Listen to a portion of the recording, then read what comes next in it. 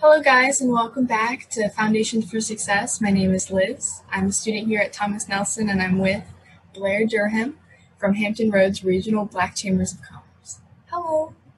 Hi, how are you? Good, how are you? I'm good. Thanks so much for the opportunity to talk with you today. I'm excited. Thank you so much for being here. Yes, ma'am. You and I have something in common we are both go getters in that when it's time to do something that we've never done before, we don't.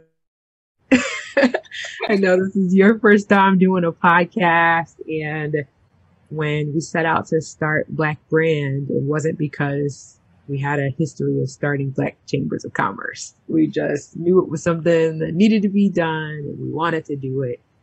Um, and we did it. Um, we got the organization underway as a 501c3 nonprofit in 2016.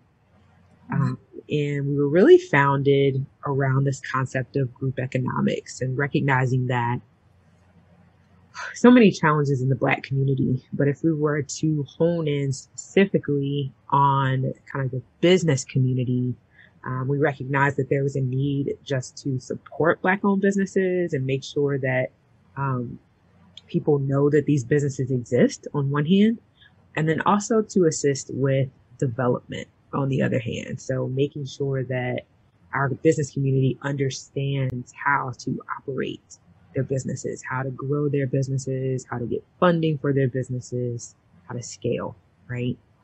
Um, and so that is that's a little bit about why we did it and, and what it is that we do. How did you get started? Good question.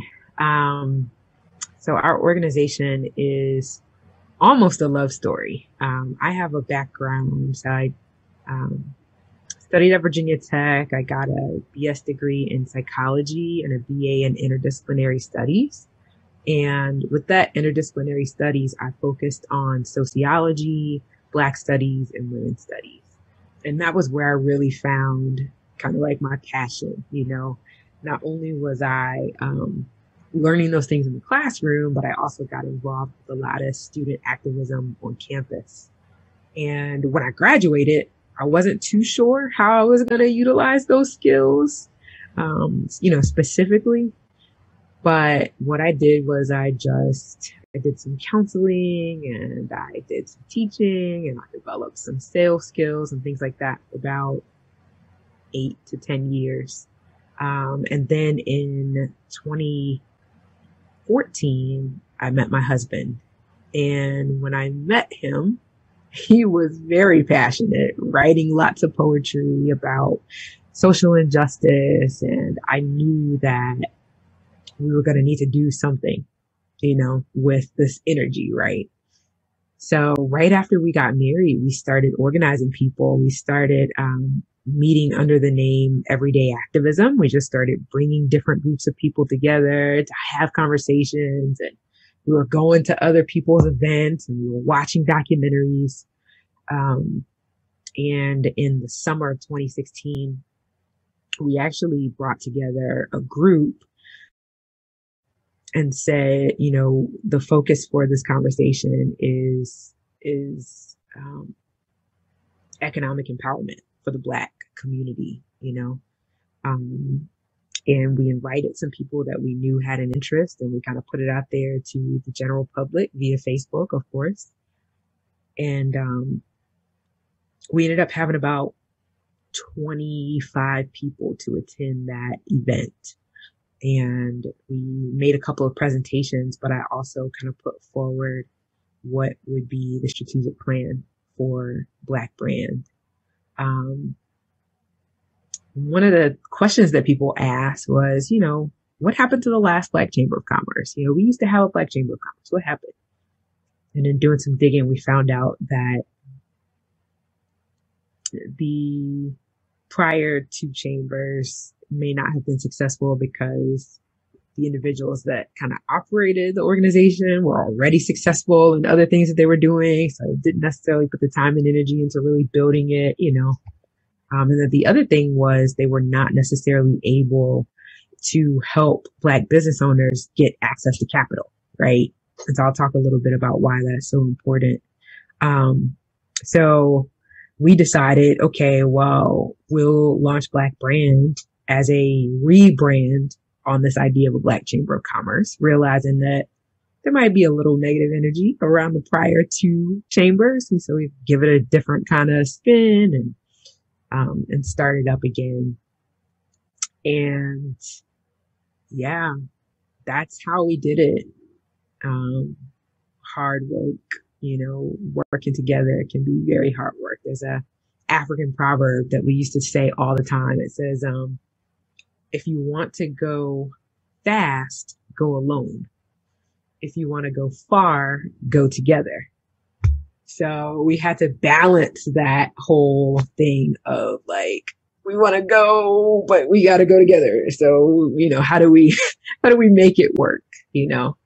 Um, and so that's what we did. So we, we went through all of the legal processes of getting our state corporation commission paperwork done, you know, articles and EIN, and, um, getting our 501c3 actually completed with the IRS. Um, we officially were Black Brand on September 22nd of 2016. We did a launch event as a gala, actually, the Black Diamond Affair that November. That was kind of like how we let the general public know um, that we existed. Wow. So a little, a little over four years. Will be the big five this year. I really, really love that quote that you said. Um, if you want to go fast, go alone. If you want to go far, go together. That is, in terms of teamwork and you know, effort and just bringing people together. I, I just really like that a lot. Yes, and it is not easy going together. Um, but the learning and everything that comes with building a team, I mean, it really develops you, you know, you recognize that you have a skill set that I don't have. And rather than competing, we need to collaborate because we can get that much further when we do.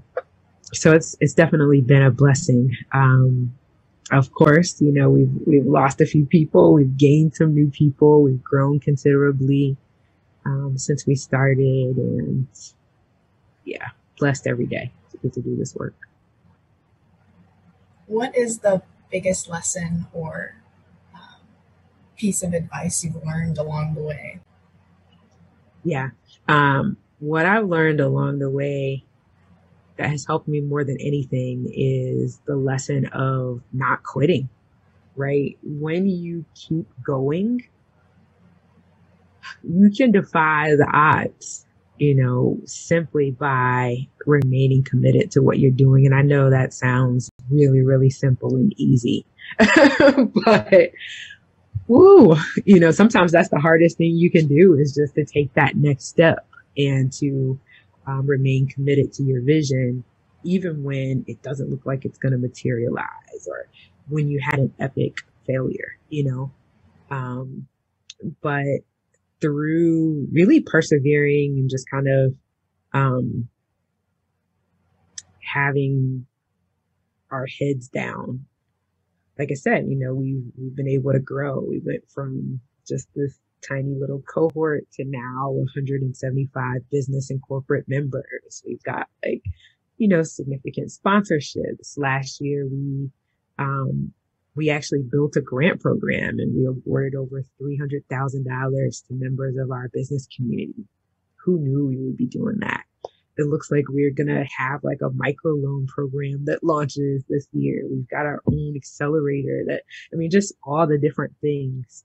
Um, so many great, great, great, great connections that, um, have really made this stuff possible that would not have been the case had we not had the courage to be brave and just, just keep going. Sure. Yeah. So tell me about uh, your partnership with Thomas Nelson. Your. Yes. Oh my goodness. So I probably officially met the wonderful Alicia Riley um, who does a number of events and things for Thomas Nelson um, about a year ago, right before the start of the pandemic. And she was kind of reaching out, wanting a partner. She had an event coming up and we started talking about some strategy and just, wow, you know, what are some ways we could work together? And of course the pandemic hit. Um, and later in my, uh, later last year, Thomas Nelson actually came aboard as a sponsor for one of our events. And part of that was that we would provide some speakers during Black History Month. And as it turned out, Black History Month became an opportunity for us to make good on some of the things that we started talking about earlier in 2020, right? Realizing, because, you know, when the pandemic first hit, we didn't know everything about virtual events, you know, virtual conferences, that kind of thing. We didn't know that they were going to become as well received, you know, as they have been. Couldn't really think through all of the different ways we could make them fun and exciting. But over the course of the year, I think we figured that out. So we're very excited about this Black History Month. Really, it's an extravaganza as far as I can tell. It's a two day event um, focused on empowering the Black family um, the national theme for Black History Month this year is uh, the Black family. And it's so strange because the event we were putting together for last May was focused on the Black family, right? Not even knowing that this year's theme was going to be so just like, oh my goodness, it worked out. Um, but there's something for everyone. I mean, there's a piece for children, you know, there's content for folks that may be in high school or college trying to understand adulting. There's content for people that might be interested in real estate. I mean, networking, just food and just all the, you know, all the things. One of the, um, culminating events, um, actually the, the finale for Saturday is about fear, something that, you know, I was just kind of sharing with you, like continuing doing it scared, right?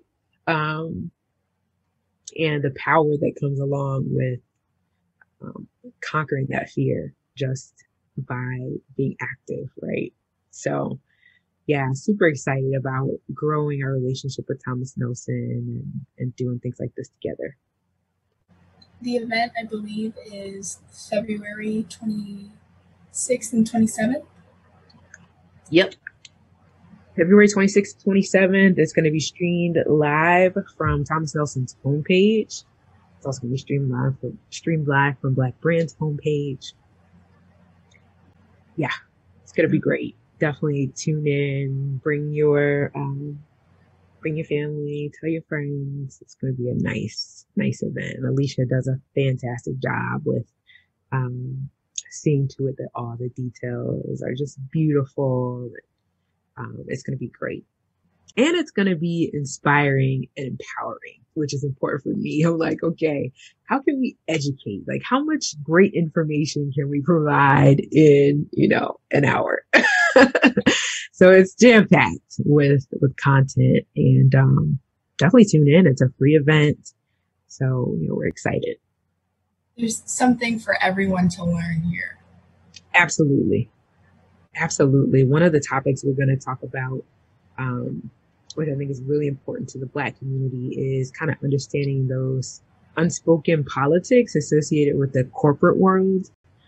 Often, oh my goodness, it's like it's a hidden staircase, right? There's a there's a ladder, there's a glass ceiling, there's all these things. You have no idea how you're going to really grow in your career. Um, and these are the things that you learn, you know, in school. Um, you know, in school you get all the technical stuff, but you may not get the soft skills and you may not just get that, you know, hey, this is how you navigate corporate America. So we have three professionals that are going to um, talk about, you know, getting to that quote unquote C suite um, within corporate America. I'm, I'm excited about that conversation also, as I mentioned before, kind of like the importance of networking, right? Um, being able to start that conversation with a complete stranger. This, this is who I am. Who are you? And how can I help you? You know, um, skills that everyone needs to learn. You know, it really doesn't matter what you plan on doing professionally. Um, becoming, developing that voice to be able to talk to people and to be able to not just develop the relationship, but maintain it over time. Oh my goodness. You know, it just makes all the difference, uh, personally and professionally. You know, when I think about my closest friends outside my family, they are my colleagues, hands down. Like, I love the people that I work with. And it's because, you know, when we get together, we're, we're meeting for Zoom about work. We're going to spend 10, 15 minutes talking about family, talking about, you know, who we are and what we've been doing and, you know, um, kind of blurring the lines a little bit, building authentic relationships, right? So that's, that'll be a good one. And then there's two, um, there's going to be a practical piece on budgeting, right? Some financial literacy concepts. There's so many apps now. There's no excuse for not being able to budget. But understanding why the budget is so important. You know, a lot of people are not able to account for the money that has passed through their hands. You know, yeah, yeah, yeah. You know, I make, let's say I make a thousand dollars a month. You know, I work part time. I bring in a thousand dollars a month. Okay. So it's the end of the year. You know, where is it now? and swiping that card at Starbucks and, you know, find things online at Amazon. And the next thing you know, you don't have anything saved. You think about the pandemic and, you know, it's just like, wow, you know. Um, so we'll have some practical conversation around that as well. So it should be good. You know, it's funny that you say that because um, a lot of students, you know, my age, we don't we don't understand the value of money and the importance of saving it. Like you said, we just kind of spend, spend, spend. We don't realize how valuable our time and our money is. So that'll be really adults don't either. Just saying, like that's why it was great content because you know whether you're Gen X, Y, or Z, you kind of need that reminder. I mean, let's be honest, our culture pretty much encourages us to spend. To spend. I was on a talk earlier and the lady was sharing that we make four to six financial decisions every day. So we're we're planning on buying something or we're actually buying something every single four to six times a day. You, know, you think about that and it's like, wow. Um, and so you, it's not typically the thing where you can just like, all right, you know, I'm cutting it off from here. I'm done but more or less, okay, let's look at where our money's going and then let's create a plan. You know, for example, one of the things I love doing is eating out. I love eating out. But then when I thought about it, it was really that I love eating, period, right? In or out. And so I, throughout the pandemic, I have embraced cooking more. Um, and I figured out that by doing something like Hello Fresh, I could always kind of be eating something different, right? And I could kind of have more time with my family because we're doing some of that cooking together. And so I'm able to check off several boxes, namely the budgeting box, because if it costs our family a hundred dollars to eat out, we're a family of five. We can get a whole box of food with four to five meals in it for hundred dollars through HelloFresh, right? That's a pretty significant, you know. so just you know, just little tweaks like that, you know, those dollars add up. You know, imagine if I'm able to save two, three hundred dollars a month by using HelloFresh what does that mean I can then do? I can probably build out my emergency fund, which most Americans don't have, right? Six months of income put to the side just in case there's a pandemic or just in case I lose my job for any other reason. You know what I mean? Just in case. Uh, we don't, we need to, you know, focus on how we can build that nest egg. So that's a, that'll be a good conversation too. And then also I mentioned real estate before um, there's a lot of focus now on multiple streams of income. you know, so we go to college and we think, all right, I'm going to get my job. I'm going to have my, you know, family and I'm going to be good. I'm going to retire, you know, and that's going to be enough. One of the things that Thomas Nelson students want to know about is, you know, how can I build another income stream? And real estate is a great way to do it. So we'll have a real estate investor on. And the beautiful thing about her is she also is a director at EVMS. So she's living this thing out. So she's like, Dr. So and so, I'm not going to give it away now at EVMS, but she's also a real estate investor because she's even at that level, she recognizes I got to have multiple streams of income. So what does it look like for me to take that savings and translate it into an apartment building that, or a duplex that I'm investing in, or, you know, a property that I'm going to use for short-term rentals like Airbnb, um, or just a fix and flip, you know, um, we'll talk a little bit probably about this really neat concept wholesaling, right? Which is where with no money, you know, you basically negotiate a contract between a buyer and a seller. You're able to make some money. The seller's able to make some money. The buyer, you know what I mean? So it's like, wow. So we'll, we'll talk through some of those concepts too, um, that have become very, very popular. I think the only thing we're not going to touch on is cryptocurrency, which is really, really cool too. 56,000 the Bitcoin did 56,000. Can I just share a quick story? So one of my friends texted me this weekend saying Bitcoin just reached 56,000, um, $56,000 per coin. Back in 20, what was that? 2015 when I first learned about Bitcoin, it was under $2,000 per coin five years ago.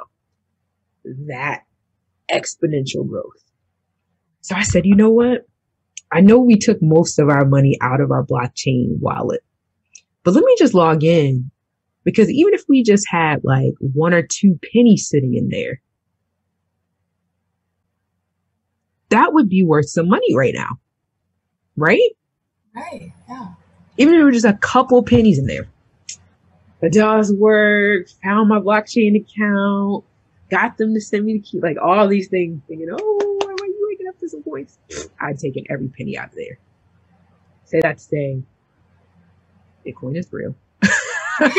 like zero dollars and zero cents. I was like, oh, that thing stung so bad but yeah, so there's there's so many different things. Um, and I'm not giving an endorsement or anything like that. I'm not a an advisor or a cryptocurrency specialist. Um, just talking about, you know, what's real. You know, everybody is being forced to consider cryptocurrency as a valid way of um, valid means of exchange.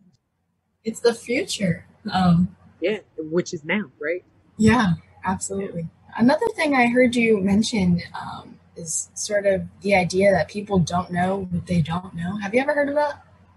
And that is so like you're talking to me right now, and I'm just talking about things that I had never really thought about. You know, you really don't know what you don't know. Yeah. And that can be intimidating, right? Because it's like, I don't know enough to I don't know enough to start a radio show and podcast. I don't know enough to, you know, I mean, you could fill in that blank with anything and then literally not do it. um, but it's so true. We, we, we, we don't know what we don't know. And so sometimes opening up, you know, a thing is really like opening Pandora's box. Like, you know, um, I'll give another quick example um, when we first got started, we thought we wanted to have a business institute, right? And basically, you know, we were going to formalize this process for people to take classes. as we got going, we realized what the market is doing. You know, online classes, everything's on demand, you know, teachable.com, da da da da. On one hand, and realizing that people tend to pay very little for those kinds of courses. Um, in some instances, but we also realize that the trending concept is around incubators and accelerators, right? So we felt like, okay, how can we take the fundaments of our business institute and translate them into what the market's actually asking for? Um, that was an unknown to us. You know, when we started, we had no idea that that was what we would be doing. But literally, by starting and then continuing, we were able to learn, we were able to adapt, and as a result, we were able to get the financial support that we were looking for to um, to get it off the ground. So it's okay. I say that to say it's okay not to know everything out the gate because you can't. You can't. And then the other thing I think about is, you know, for some reason the know-it-alls aren't doing it. Why didn't they do it yet? The people that knew how to do the thing that I've been trying to do, busting my tail to learn how to do, they didn't do it. So maybe I'm supposed to learn it. Maybe I'm supposed to do it. And that's okay too, you know? Thank you so much Yeah, that is going back to uh, the idea of not knowing what you're doing and then just proceeding on anyways. It's... I mean, you're probably gonna get thrown in the bus a little bit, you know. Not everybody's gonna be happy for you. That's a thing too, is that um you may not get support from the people that you think should be supporting you in any endeavor, you know. That's okay. Cause they know you don't know parents, friends you grew up with. They're like, what are you doing, dude? You have no idea how to do this. But again, you keep going, and then they're like, oh, wow, you figured it out. Not caring and, about what other people have to say. Yeah. Kind of going on. And developing that that thick rhinoceros skin too. Um, because rejection is a real thing, you know. Initially, it's gonna hurt like heck. Um, but you toughen up, say, no, no, no, I'm good, you know, and keep going. You have definitely inspired me to do some things that I've been wanting to do for a long time. I'm just gonna. Seriously? Yeah. Yay! I'm glad to hear that. Thank yeah. you so much. You're welcome so much. I really appreciate the time and getting to share. So tell us one more time about your event. Yes, so excited to uh, partner with Thomas Nelson Community College for a Black History Month event uh, focused on the Black family. It's actually called Family Matters. Um, and it is in partnership with Black Brand, and it's February 26th and 27th. It'll be live on Thomas Nelson homepage as well as Black Brand's homepage. Thank you so much for tuning in on Foundations for Success. Have a wonderful day.